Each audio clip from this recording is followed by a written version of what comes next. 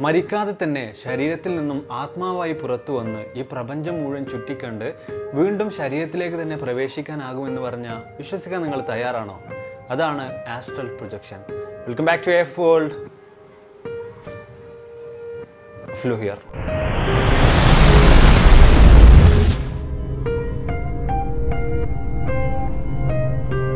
നിരന്തരമായിട്ട് ഒരുപാടധികം ആളുകൾ വീഡിയോ ചെയ്യാൻ വേണ്ടി പറയുന്ന ഒരു ടോപ്പിക്കാണ് ആസ്ട്രൽ പ്രൊജക്ഷൻ എന്ന് പറയുന്നത്. നമ്മൾ ഇന്നത്തെ ഒരു വീഡിയോയിലൂടെ നോക്കാൻ പോകുന്നത് എന്താണ് ആസ്ട്രൽ പ്രൊജക്ഷൻ എങ്ങനെയാണ് ആസ്ട്രൽ പ്രൊജക്ഷൻ ചെയ്യുന്നത് ഇതിനെക്കുറിച്ച് ആസ്ട്രൽ പ്രൊജക്ഷനെ കുറിച്ച് ശാസ്ത്രത്തിന് എന്താണ് പറയാനുള്ളത് എന്നീ കാര്യങ്ങളൊക്കെയാണ്. അതുകൊണ്ട് തന്നെ ഈ ഒരു വീഡിയോ മുഴുവനായിട്ട് നിങ്ങൾ കണ്ടു കഴിഞ്ഞാൽ ഈ ഒരു വിഷയവുമായി ബന്ധപ്പെട്ട ആസ്ട്രൽ പ്രൊജക്ഷൻ എന്ന വിഷയവുമായി ബന്ധപ്പെട്ട എല്ലാവിധ കാര്യങ്ങളും നിങ്ങൾക്ക് മനസ്സിലാക്കാൻ സാധിക്കുന്നതായിരിക്കും. ആസ്ട്രൽ പ്രൊജക്ഷൻ എന്ന് പറയുന്നത് സത്യത്തിൽ ഒരു സ്യൂഡോ സയന്റിഫിക് ടോപ്പിക്കാണ് ഇന്നും ഒരുപാട് തരത്തിലുള്ള ഡിബേറ്റുകളും ചർച്ചകളും മറ്റും നടന്നുകൊണ്ടിരിക്കുന്ന ഒരു വിഷയമാണ് ആസ്ട്രൽ പ്രൊജക്ഷൻ എന്ന് പറയുന്നത്. എന്നാൽ നമ്മൾ ചരിത്രം പരിശോധിച്ചു നോക്കുന്ന സമയത്ത് മതങ്ങൾക്കും കൾച്ചറുകൾക്കും എല്ലാം അതീതമായിട്ട് തന്നെ ഒരുപാടധികം വർഷങ്ങൾക്ക് മുമ്പ് തന്നെ ആളുകൾ ഈ ഒരു ആസ്ട്രൽ പ്രൊജക്ഷൻ ചെയ്തു വന്നിട്ടുണ്ടായിരുന്നു എന്ന് നമുക്ക് കണ്ടെത്താൻ സാധിക്കുന്നുണ്ട്. ഇനി എന്താണ് ആസ്ട്രൽ പ്രൊജക്ഷൻ എന്ന് നമ്മൾ നോക്കുമ്പോൾ നമുക്ക് എല്ലാവർക്കും അറിയുന്ന അല്ലെങ്കിൽ നമ്മളെല്ലാവരും വിശ്വസിക്കുന്ന ഒരു കാര്യമാണ് നമ്മുടെ എല്ലാവരുടെയും ശരീരത്തിൽ ആത്മാവ് എന്ന് പറയുന്ന ഒരു സാധനമുണ്ട്. നമ്മുടെ ശരീരത്തിൽ നിന്നും ഭൗതിക ശരീരത്തിൽ നിന്നും ആത്മാവ് വേർപ്പെടുമ്പോഴാണ് ആ ഒരു ശരീരം മൃതദേഹമായിട്ട് മാറുന്നത്. എന്നാൽ ആസ്ട്രൽ പ്രൊജക്ഷൻ സംസാരിക്കുന്നത് നമുക്ക് ആവശ്യമുള്ള സമയത്ത് മരിക്കാതെ തന്നെ നമ്മുടെ ഭൗതിക ശരീരത്തിൽ നിന്നും ആത്മാവിനെ വേർപ്പെടുത്താനും അതിനെ വീണ്ടും ശരീരത്തിലേക്ക് തന്നെ തിരിച്ചു കൊണ്ടുവരാനും കഴിയുമെന്നാണ്. ഒന്നുകൂടി ഡീറ്റെയിൽ ആയിട്ട് പറയുകയാണെങ്കിൽ നമുക്ക് ആവശ്യമുള്ള സമയത്ത് നമ്മുടെ ഭൗതിക ശരീരത്തിൽ നിന്നും നമ്മുടെ ആത്മാവിനെ വേർപ്പെടുത്താനാകും. ആ ഒരു അവസരത്തിൽ ആത്മാവിനും ശരീരത്തിനും നമ്മുടെ ഭൗതിക ശരീരത്തിനും ഒരേ രൂപം തന്നെയായിരിക്കും ഉള്ളത്. മാത്രമല്ല നമുക്ക് ചുറ്റും നടക്കുന്ന എല്ലാവിധ കാര്യങ്ങളും ആ ഒരു ആത്മാവിനെ ഫീൽ ചെയ്യാൻ കഴിയും. അതിനും അപ്പുറത്തേക്ക് നോക്കുകയാണെങ്കിൽ നമ്മുടെ ഭൗതിക ശരീരത്തിന് ചെയ്യാൻ കഴിയാത്ത ഒരുപാട് തരത്തിലുള്ള കാര്യങ്ങൾ കാണാനും കേൾക്കാനും അതുപോലെ തന്നെ പ്രപഞ്ചത്തിൽ മുഴുവനായിട്ടും സഞ്ചരിക്കാനും എല്ലാം ഈ ഒരു ആത്മാവിന് സാധിക്കും. ഇതൊക്കെയാണ് ആസ്ട്രൽ പ്രൊജക്ഷൻ വിശദീകരിക്കുന്നത്. ഇനി എങ്ങനെയാണ് ഈ ഒരു ആസ്ട്രൽ പ്രൊജക്ഷൻ ചെയ്യുന്നത് എന്നതിനെ കുറിച്ച് നോക്കാം. ആർക്ക് വേണമെങ്കിലും നിരന്തരമായിട്ടുള്ള പരിശ്രമത്തിലൂടെ ചെയ്യാൻ കഴിയുന്ന ഒരു കാര്യമാണ് ആസ്ട്രൽ പ്രൊജക്ഷൻ എന്ന് പറയുന്നത്. അതിൽ ഒന്നാമതായിട്ട് നമുക്ക് വേണ്ടത് ഈ ഒരു കാര്യം എന്നെ കൊണ്ട് ചെയ്യാൻ കഴിയുമെന്നുള്ള ഒരു കോൺഫിഡൻസ് ആണ്. അമിതമായിട്ടുള്ള അല്ലെങ്കിൽ ഭയങ്കരമായിട്ടുള്ള ആ ഒരു കോൺഫിഡൻസ് ഉണ്ടെങ്കിൽ മാത്രമേ നമുക്ക് ആസ്ട്രൽ പ്രൊജക്ഷൻ ചെയ്യാനായിട്ട് സാധിക്കൂ. രണ്ടാമതായിട്ട് വേണ്ടത് നമ്മുടെ ബോഡിക്ക് നല്ല രീതിയിലുള്ള ഒരു റെസ്റ്റ് കിട്ടിയതിന് ശേഷമായിരിക്കണം ആസ്ട്രൽ പ്രൊജക്ഷൻ ചെയ്യേണ്ടത് എന്നതാണ്. അതുപോലെ തന്നെ യാതൊരു വിധത്തിലുള്ള ഡിസ്റ്റർബൻസുകളും ഉണ്ടാകാൻ പാടില്ല. അതുകൊണ്ട് തന്നെ ഒട്ടുമിക്ക ആളുകളും പ്രിഫർ ചെയ്യുന്നത് പുലർച്ചെ ആസ്ട്രൽ പ്രൊജക്ഷൻ ചെയ്യാൻ വേണ്ടിയിട്ടാണ്. ഇരുന്നുകൊണ്ടോ കിടന്നുകൊണ്ടോ ഒക്കെ നമുക്ക് ആസ്ട്രൽ പ്രൊജക്ഷൻ ചെയ്യാൻ കഴിയുന്നതാണ്. അതിൽ തന്നെ ഏറ്റവും നല്ലത് കിടന്നുകൊണ്ട് ചെയ്യുന്നതാണ്. എങ്ങനെയാണ് ഇനി ആസ്ട്രൽ പ്രൊജക്ഷനിലേക്ക് കിടക്കുന്നത് എന്ന് വെച്ച് കഴിഞ്ഞാൽ വളരെയധികം റിലാക്സ്ഡ് ആയിക്കൊണ്ട് ഭയങ്കരമായിട്ടുള്ളൊരു റിലാക്സിങ് സ്റ്റേജിലേക്ക് നമ്മുടെ ഈ ഒരു ബോഡിയെ കൊണ്ടുവന്ന് എത്തിക്കുക. നമ്മൾ കണ്ണുകൾ അടച്ചിരിക്കുമ്പോൾ പോലും പല മസിലുകളും ഭയങ്കരമായിട്ട് ടൈറ്റ് ആയിട്ട് ഇരിക്കുന്നുണ്ട്. ഉദാഹരണത്തിന് പറയുകയാണെങ്കിൽ കണ്ണുകൾ അടക്കുമ്പോൾ പോലും നമ്മുടെ ഈ ഒരു പുരികത്തിന്റെ ഈ ഒരു ഭാഗത്തുള്ള മസിലുകൾക്കൊരു ടൈറ്റ് ഫീൽ ചെയ്യുന്നുണ്ടായിരിക്കും. അതുവരെ ഭയങ്കരമായിട്ട് ലൂസ് ആക്കിക്കൊണ്ട് അതുവരെ ഭയങ്കരമായിട്ട് റിലാക്സ് ചെയ്തുകൊണ്ടായിരിക്കണം നമ്മൾ ഈ ഒരു പ്രവൃത്തിയിലേക്ക് കടക്കേണ്ടത്. അപ്പോൾ ഇത്തരത്തിൽ നമ്മുടെ ബോഡി മുഴുവനായിട്ടും റിലാക്സ് ചെയ്തിരിക്കുന്ന സമയത്ത് ചെറിയ രീതിയിലുള്ള ഒരു വൈബ്രേഷൻ നമ്മുടെ ശരീരത്തിന് അനുഭവപ്പെട്ടു തുടങ്ങും ഇങ്ങനെയുള്ള ഈ ഒരു അവസരത്തിൽ നമ്മുടെ വീടിന് മുകളിൽ നിന്നും ഒരു കയറ് നമുക്ക് നേരെ തൂങ്ങിക്കിടക്കുന്നുണ്ട് എന്നൊരു കാര്യത്തെ നമ്മൾ ഇമാജിൻ ചെയ്യുക. അതിനുശേഷം ആ ഒരു കയറിൽ പിടിച്ചുകൊണ്ട് പതിയെ പതിയെ എണീക്കാൻ വേണ്ടി ശ്രമിക്കുക.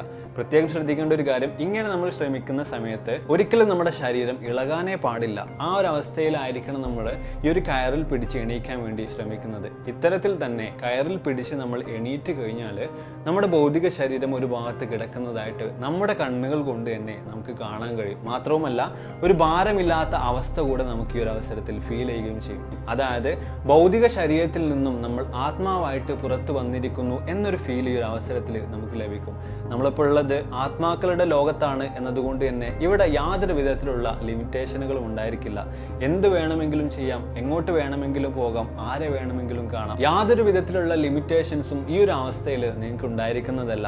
ഇതിനേക്കാൾ അപ്പുറത്തേക്ക് കുറച്ചുകൂടെ വേറെ ലെവലായിട്ടൊരു ഫീൽ നിങ്ങൾക്ക് കിട്ടണമെന്നാണ് നിങ്ങൾ ആഗ്രഹിക്കുന്നതെങ്കിൽ മുകളിൽ നിന്നും താഴേക്ക് തൂങ്ങിക്കിടക്കുന്ന ഒരു കയറിന്റെ കാര്യം ഇമാജിൻ ചെയ്യാൻ നമ്മൾ പറഞ്ഞല്ലോ. ആ കയറിൽ പിടിച്ചുകൊണ്ട് വീണ്ടും വീണ്ടും മുകളിലേക്ക് കയറി പോവുക. ഈ ഒരു അവസ്ഥയിൽ നിങ്ങൾക്ക് ഭൂമിയിൽ നിങ്ങൾക്ക് കാണാൻ കഴിയാത്ത പലതും കാണാൻ കഴിയും. ഇതിൽ പറയുന്നത് തന്നെ ഫോർത്ത് ഡയമെൻഷനിലും ഫിഫ്ത്ത് ഡയമെൻഷനും ഒക്കെ നമുക്ക് ഇവിടെ കാണാനും ഫീൽ ചെയ്യാനും ഒക്കെ സാധിക്കും എന്നതാണ്. ഇപ്പോൾ നമ്മുടെ ആത്മാവുള്ളത് പ്രപഞ്ചത്തിന്റെ ഏതോ ഒരു കോണിലാണ്. എന്നാൽ നമ്മുടെ ഭൗതിക ശരീരമാകട്ടെ നമ്മുടെ വീട്ടിനകത്ത് നമ്മുടെ മുറിക്കകത്താണുള്ളത്. ഇനി പലരും ചിന്തിക്കുന്ന ഒരു കാര്യം എങ്ങനെയാണ് നമ്മുടെ ഭൗതിക ശരീരത്തിലേക്ക് ആത്മാവ് തിരിച്ചു വരുന്നത്? എന്താണ് അതിന് വേണ്ടിയിട്ട് ചെയ്യേണ്ടത് എന്നതാണ്.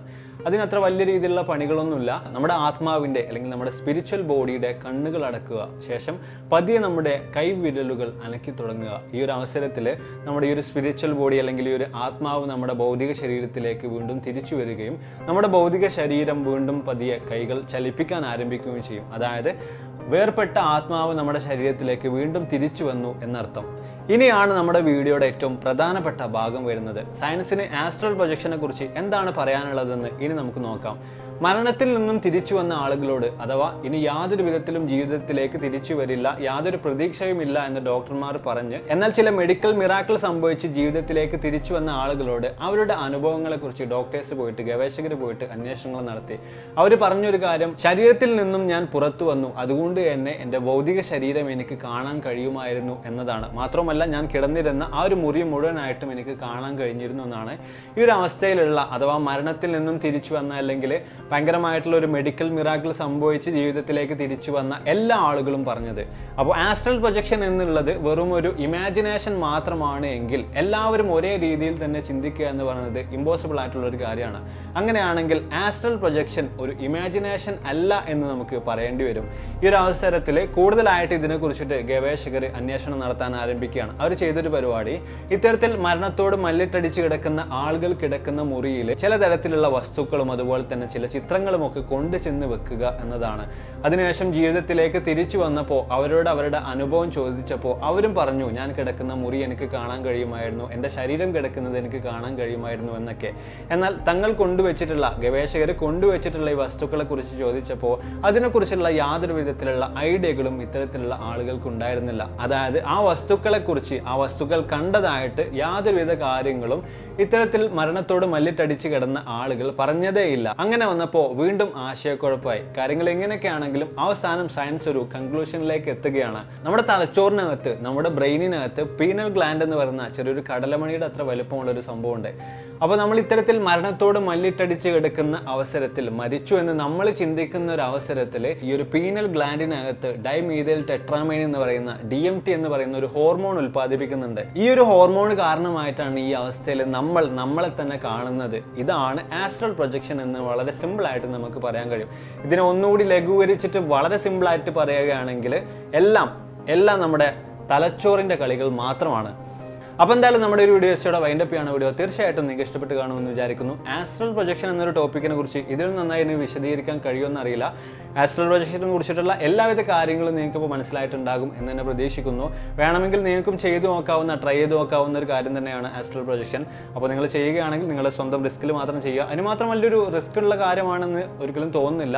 എന്നാൽ പോലും നല്ല രീതിയിലുള്ള ഒരു കോൺസെൻട്രേഷൻ ഉണ്ടെങ്കിൽ മാത്രമേ നമുക്ക് പെട്ടെന്ന് ചെയ്യാൻ കഴിയൂ. അല്ല എങ്കിൽ പോലും നിരന്തരമായിട്ട് പരിശ്രമിച്ചു കഴിഞ്ഞാൽ ഈ ഒരു കാര്യങ്ങളെല്ലാം ഇത്തരത്തിലുള്ള നമ്മുടെ ശരീരത്തിൽ നിന്ന് നമ്മുടെ ആത്മാവ് പുറത്തു വരുന്നത് പോലുള്ള ഒരു ഫീലിംഗ് കാര്യങ്ങളൊക്കെ നമുക്ക് തീർച്ചയായിട്ടും അനുഭവിക്കാൻ കഴിയും. അപ്പോൾ ഇതിൽ നല്ല ഒരുപാടധികം വീഡിയോസുകളുമായിട്ട് കണ്ടുവിട്ടാന്ന് പ്രതീക്ഷയോടെ ബൈ